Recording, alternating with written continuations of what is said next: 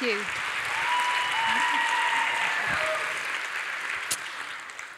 Uh, thank you. um, there's a story. Um, it's my favorite story of all time. It's a pretty dark story. Um, this is, I'm, I'm also, my slides are very literal. It's called The Road. It's by a writer called Cormac McCarthy. And the story is about a father and a son, a, a man and a, and a boy, and they're making their way through what is a post-apocalyptic America. I read it a few years ago, and the story is not an easy story to read. It's one filled with devastating stuff. The landscape is gone, everything is gone. There are just a handful or a few hundred handfuls of humans that are left. And these humans are pretty much, they are good or they are bad. And the differentiator is You are either eaten or you are not eaten. The story is beautifully written. It is astonishing in the way that it undercut, uh, uh, exposes the journey that these two go on. And throughout the story, the, the, the, the young son, I imagined him to be about eight or nine. He says to his father, Papa, are we carrying the fire? And, and the father says to the son, Yes, yes, we're carrying the fire. Now, on a very basic level, I understood what that meant. That meant, you know, they're, they're in the survival mode. They're going to go, get to where they're going to go. And they were aiming to get to the south, to the warmth, where they hoped they would find some kind of safety. The meaning of the fire, however, as literal as it is, has come to take um, on a completely different meaning for me. And I think that that's something that I want to talk about today with you. Um, meet my mum. Uh, this is the only selfie my mum ever had. So um, I think she was very proud of that, the fact that she only had one selfie. Um, five months after this picture was taken, my mum died. She was a remarkable woman um, in many different ways. Also flawed in many different ways, but that's the humans. That's the humans that we are. But my mum was, I think, astonishing because she had cancer four times in her life. The first three times were totally separate. Um, the final cancer that, that took her life back in August 2016 uh, was an echo of the very first one, some 16 years earlier. And for anyone who has had the privilege, and I do mean this, the privilege of being through somebody's journey when they are dying, it is a most profound experience. The, the, the, the privilege that we had was that we were lucky enough to have mum uh, have home hospice care. And so we were able to give mum what I call a good death. The actual uh, period of time when death happens, when, sorry, when you are dying, is for many, it can be a, a, a, a very long period, but death is momentary. Death is, is, is here and it takes you and you are gone. And when my mum died, late on August the 17th, 2016, the day before her birthday, um, we were there. My brothers were there. Uh, our partners were there. And we had the privilege of being with her when her fire went. It didn't disappear altogether. And when you are with somebody when they die, you know they're, you know they're gone. It's a, it's, a, it's, a, it's a very strange thing, particularly when you're with somebody who's literally been in your life even before you were born. It is a profound experience, and it is one that I think for me, will stay with me obviously forever, but it has also changed the way I see things. However, it was not the first time that um, I'd experienced death. My father, here he is. Uh, I had to get this picture out of my father. He is in his very early 20s. This is in the 1950s. And I just think that he looks really super handsome. So I was like, I'm going to show this picture of dad. And the reason I love this picture of dad is because his life and hope and everything was about to stretch out before him. And that was the thing that really kind of like resonated with me when dad died. He died um, alone. He died in hospital. Uh, we, he was very ill. He, but the death actually came very quickly and, and, and surprisingly, I think. Um, and when he died, um, my brother, my elder brother and I went to see him later that day in the chapel, um, uh, chapel of rest uh, in hospital. Again, he was there, but he was not there. He was dad, but it was not dad. The fire had gone, but the fire hadn't disappeared. Um, and this isn't going to sound like, you know, this is a wholly depressing story, by the way.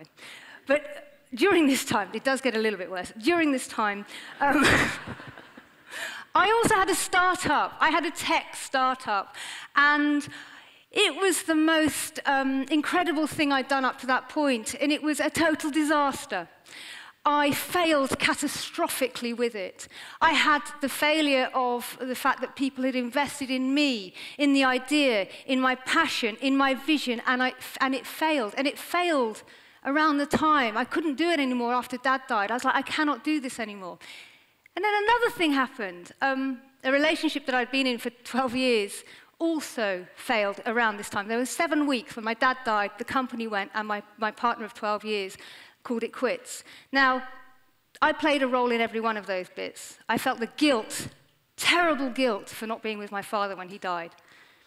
I felt terrible, awful guilt that I had failed these people who'd put all that, all that hope and, and belief in me for this startup and trusted me, not only with their money, but trusted me with their hopes and aspirations. And also, I had the terrible guilt that I had been party to the breakdown of a relationship that at the time I thought was going to be the rest of my life. So, those three things are kind of like a tsunami of guilt and grief. And I don't think it's unsurprising. I span into quite a depression. Um, I couldn't even, I remember looking, I couldn't even look myself in the mirror some days. And um, I felt my fire, my fire in me was all but e-, e-, extinguished. And then um, for some reason, oh, that was my road, sorry, I said it was literal. This, I had my own personal road. Then something happened. I had what I call my escalator moment. So I was in London, um, I'd got a train, I was Also, at this point, I was crying all the time. I just couldn't stop crying. I was crying, crying, crying. Got in a train into London for some meeting, and I got on an escalator. And you know, when you're in London and the etiquette is, you're supposed to stand to the right, and everyone else, I'm doing it for, for you, for the mirror image, and everyone else runs up, you know, to, to, the, to the left of you. So I was running and running running. And um, I couldn't get any further because this guy really selfishly, had stood right in the middle. And he was going neither, neither way. And I was just like, oh, I'm not going to bother. I'm just going to stand here. I'm just going to stand here and wait. A couple of seconds after me just standing there, and obviously other people were just kind of like getting a little bit annoyed as well, this guy turned around and he looked at me and he went, Lizzie Hodgson. And um, I was like, yeah. Um, and I recognised him. I, I think our paths had crossed a few times with other work that I'd done, and he'd heard that my company had collapsed. And he said, what, what are you doing? What's going on? What's happening? And I couldn't really remember his name at the time. So I was like, oh, yeah, it's gone very, very wrong. And, but also, I, because I couldn't help actually the grief fell out of me then. And I told him about my father, and I told him about my, my ex-partner, and I, everything flowed out of me. And that was all happening just, you know, as we were going up the escalator. And, um, and I thought, oh, this, this, you are, I just like, you sound weird. Stop now. You sound very strange, crying. Um, but I didn't. I didn't stop, and I kept going and just kept going.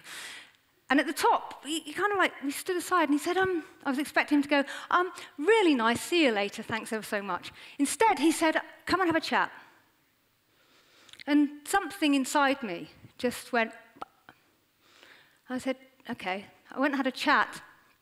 And I'm not too clear on the timeline, but around two to three weeks later, I was working in the company that he worked for.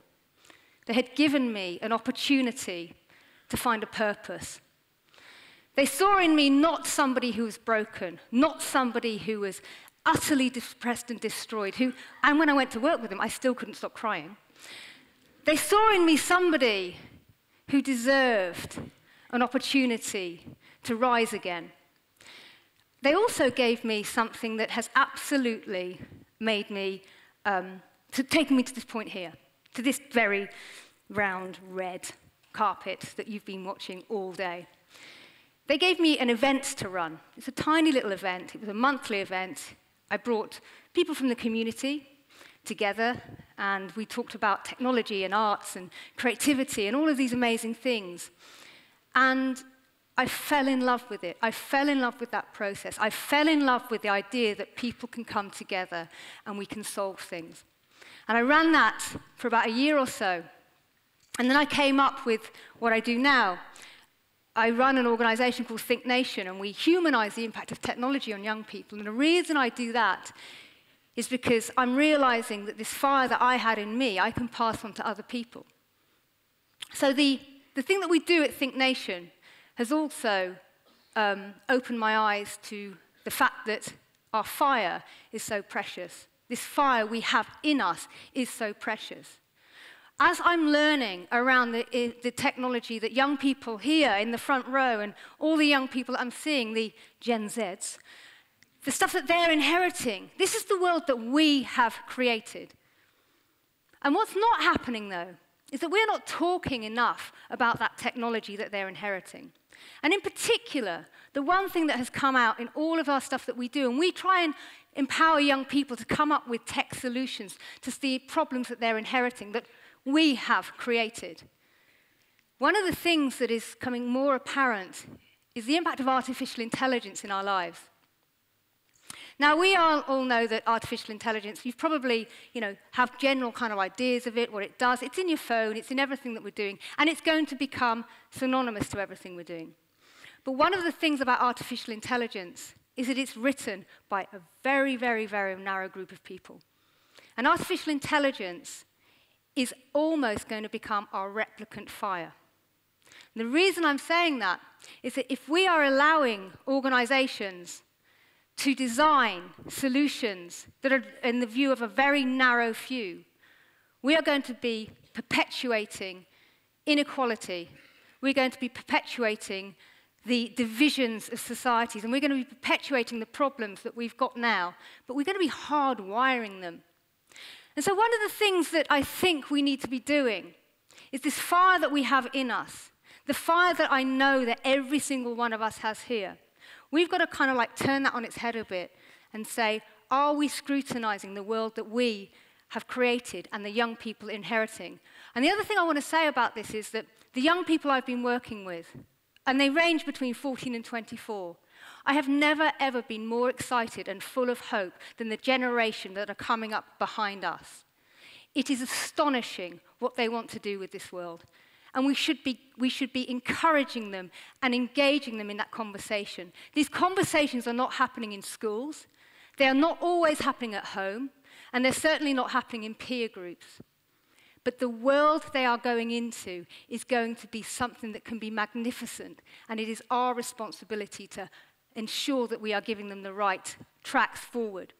And that does start by questioning the technology. That does start by saying, should we be just opening ourselves up to this data stuff? It does make us question, what is tech for? I'm an advocate of tech for good. And I think that the way that we've been going in the previous generations, and I'm, I think I'm Gen, Gen, Gen X. I'm Gen X. we are responsible for this.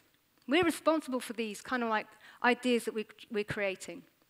Now, what if we were to start saying we want to have these conversations in more open ways with young people? What if we were to say, why don't we kind of like start to think, are we getting the AI ethics right? Tech is neither good nor bad. It is what we do with it that actually makes the difference. So, one of the things that I've learned through the fact that this fire that we have inside us, the fire that kind of like burns in young people that I'm, that I'm meeting, is that we have got to nurture it. We don't want AI to be our replicant fire. I don't want my life to be AI'd away. If I had my life so perfectly streamlined with all technology, I would never have had the bumps and the scrapes and seen the things that I've seen and experienced the humanity that I've experienced and experienced the terrible things as well. This is what makes us human. It is our humanity that brings us together. It is our experiences that matter, and that cannot be wrapped up in an app. I'm not a Luddite. I fundamentally believe in the power of technology, but we've got to start that conversation. And my message to you today is probably this. In fact, it is this. Embrace the mess. Embrace the messiness of your lives. Embrace the fact that you don't know what's going to happen. Embrace the fact that you can't iCal your life away. Embrace those random moments. Do not miss your escalator moment. Look up, communicate, put humanity at the heart of everything we're doing. Because every single one of us has that here. Just put your hand there. You know what I'm talking about. That burn, that passion, you know what it is. Take that, move forward. I think I've got a last slide. Because we're not binary.